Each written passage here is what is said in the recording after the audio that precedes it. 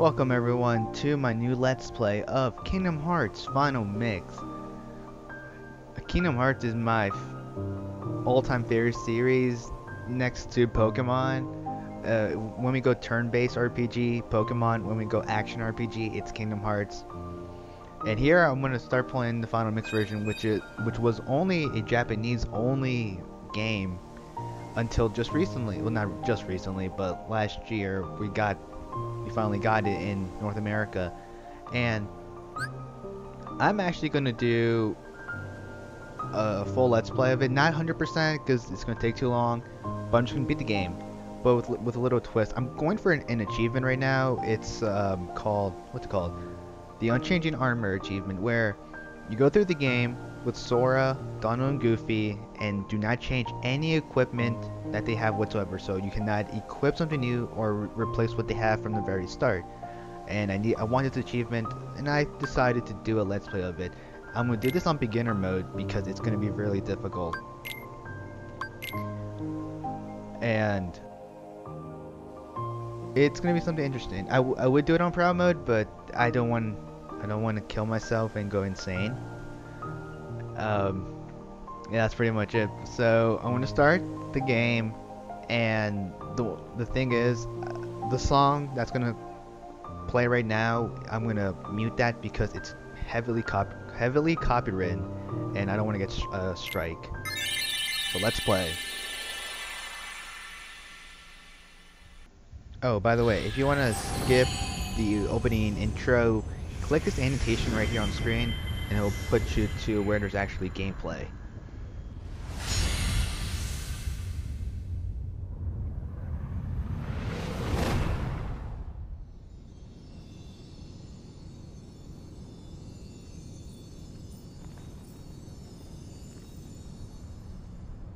I've been having these weird thoughts lately.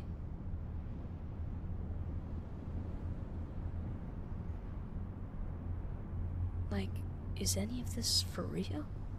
Or not?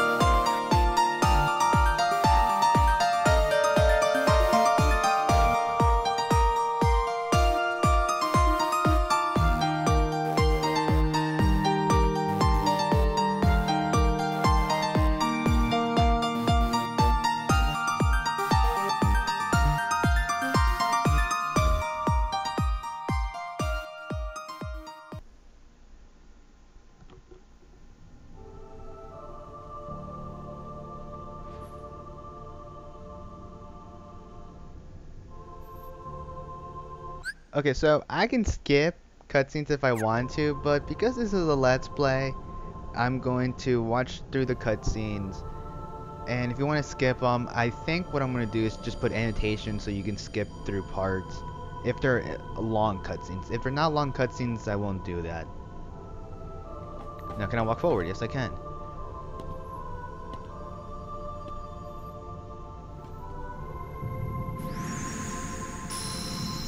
Alright, so now, right here, we choose, uh, like, we choose sword, staff, or, sh or shield, and then we give one away. Because this is going to be a, ki a Kingdom Key only ability, uh, playthrough, because for, for the achievement, it has to go between either sword or, or staff, and because my attack is so weak, magic might be more important.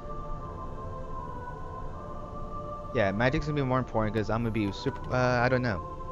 Let's see. Magic-based attacks will be really helpful because I'll be super weak in attack. But if I increase my attack, I should be able to do enough damage. And I can grind off screen anyway if I want to. So. No, I want magic. I want magic. Because picking what one of these, whatever you pick, it also determines what your level skill tree is going to be. So if because I, I chose staff, I might get more magic based skills earlier than as if I were to pick sword where I get more physical. And because defense isn't really needed as much, and I, I'd rather not, I rather not give up my attack and keep the attack I'm, I will have because with this, I can just use magic and use cure, and done. Only Goofy can heal me in this game, so I'll be I'll be fine. And yes, this is what I will choose. Take staff and give away shield.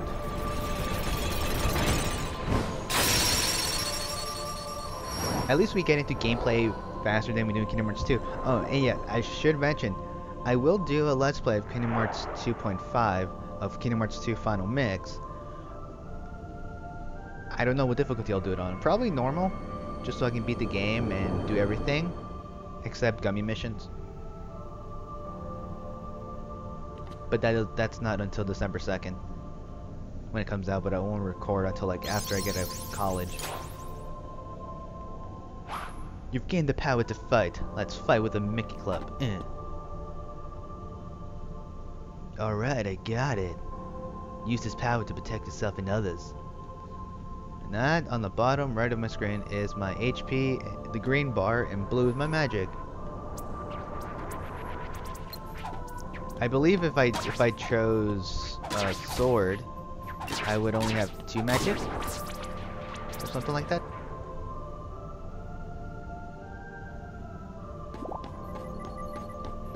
When you defeat enemies, they drop items. Th these green orbs are health orbs.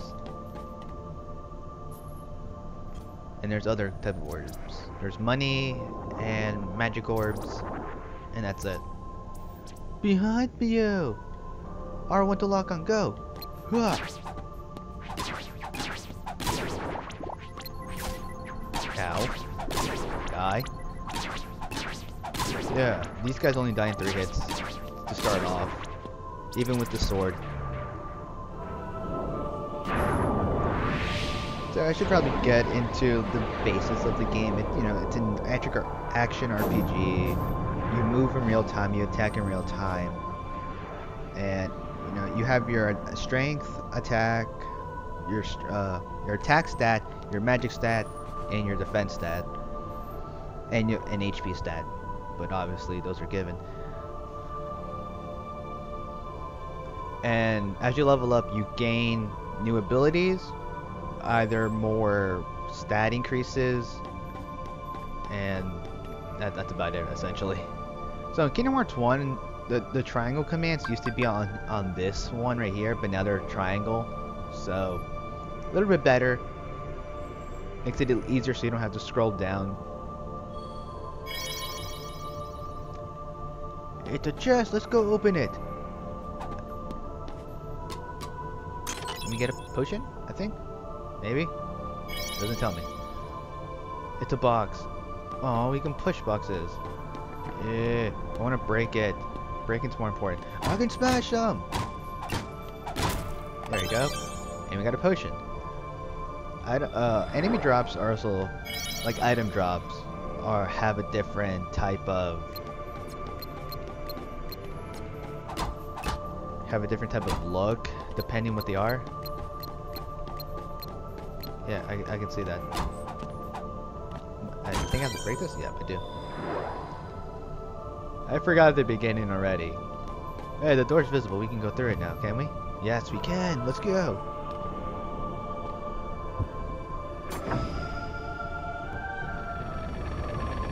No, the light. It burns. Sora, no.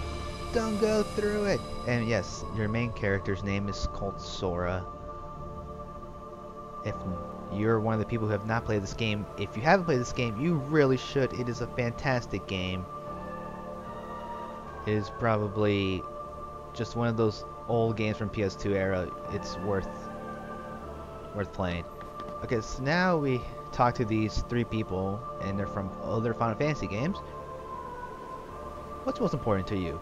So, these three people will, will, are going to ask you questions. Depending what questions you answer, uh, what, depending what your answers are, determines how fast you level up in the beginning of the game and how you fast you level up at the end of the game.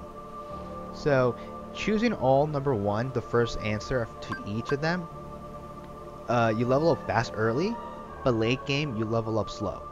Second one, it's middle middle, so they're pretty average on how you level up, and the, the last one, you level up slow at, at, at first, but then you level up fast at the end, which I, because I'm going uh, key, uh, Kingdom Key only, it's best to go slow early so, and late game to go really really fast levels so I can grind.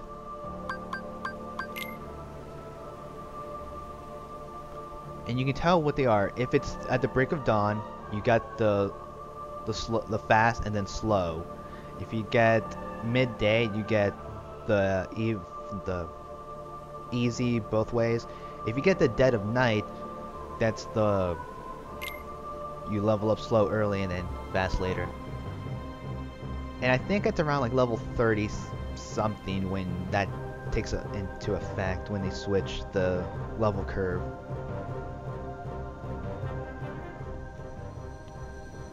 So it'll be a little while before I get like over leveled. But it won't be too long.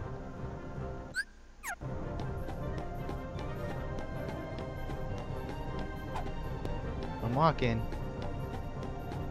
Game.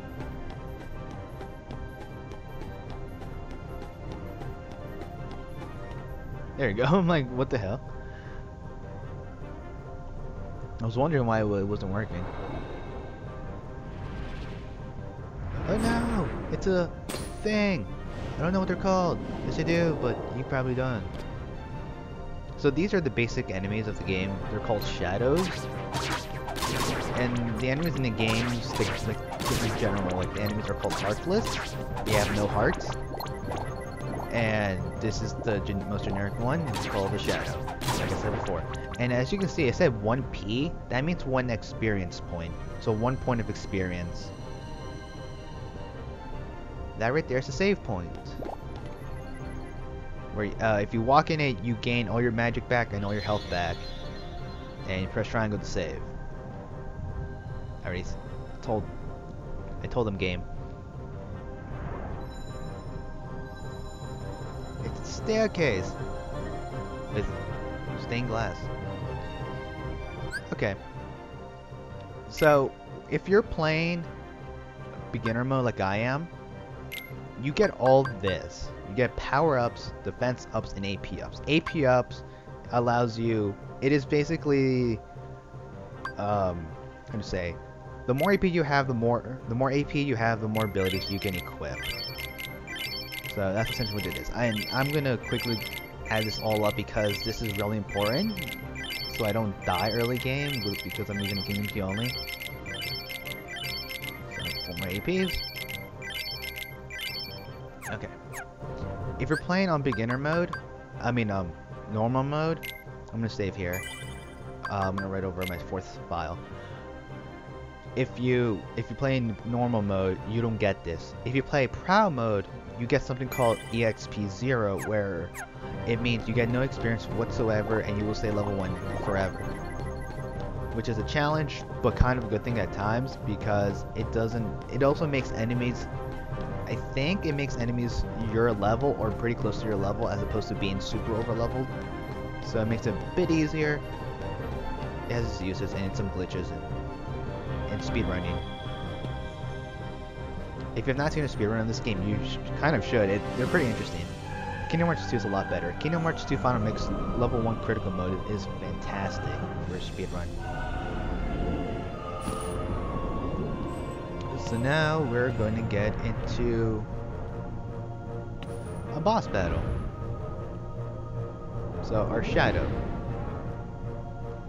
This enemy is called Darkside. It's just a giant heartless. He's not hard, especially with all the attack boosts we got because we're in beginner mode. He's a joke. Watch me die now because I said that.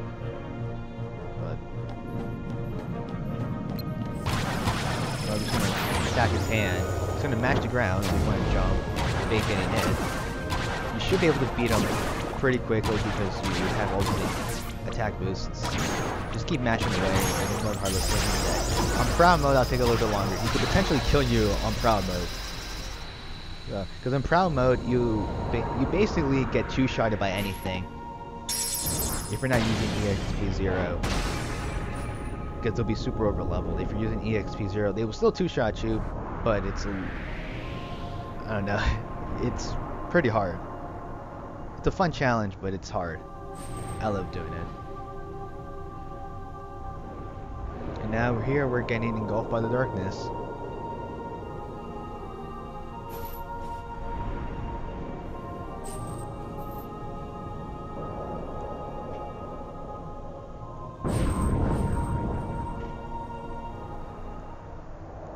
And we died. Game over.